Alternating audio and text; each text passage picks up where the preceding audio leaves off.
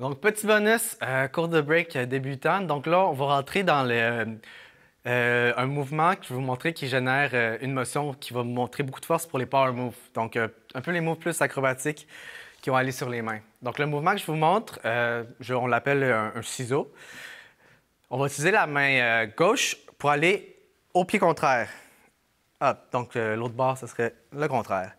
Donc, on va aller quand même une base large. Notre main gauche ici, on va aller la placer. euh, pas nécessairement où le pied.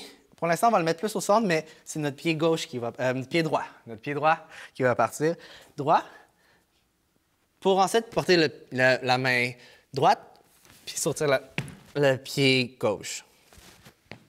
Comme ça, au ralenti, ça donne ça. Donc, si je vais comme nécessairement, je vais porter ma main, je lance le pied. Quand je vais porter l'autre main, je lance le pied, puis je me relève. Un peu plus vite parce que ça va, ça- c'est dur à l'expliquer en moton.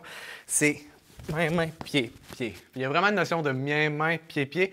Puis on veut être euh, le même temps sur chaque main. Fait qu'on veut pas rester trop longtemps sur une main ou trop longtemps sur un pied. Donc, si je le fais, mettons, deux fois, ça va vraiment faire main, main, pied, pied, main, main, pied, pied. Pratiquer cette coordination, ça va vous mener à quelque chose. Puis, je vais vous inviter à la faire avec un petit angle. Donc ici, je lance, puis un petit angle. Main, main, pied, pied. Ça va vous aider à générer plein de force.